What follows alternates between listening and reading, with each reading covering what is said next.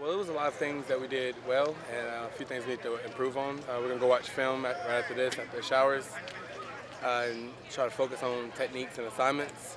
Uh, defense showed great effort as well as offense. Uh, we saw some good downfield blocking and some good runs by the younger guys. Uh, Jalen Lampkin broke a few couple ones.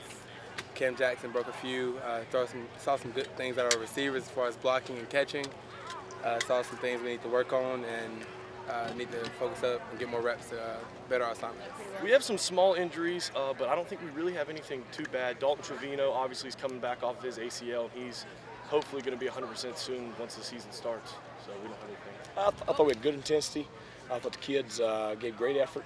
Um, the best thing about it is we don't play for two more weeks because uh, you know we saw a lot of things uh, that we needed to work on. I uh, had the officials here and instructed them to call it pretty tight, and so uh, just to make sure that we're working within the rules. We don't get any uh, useless penalties on uh, on game day. But uh, overall, we're fairly pleased. Uh, got a lot of work to do between now and now and the 30th.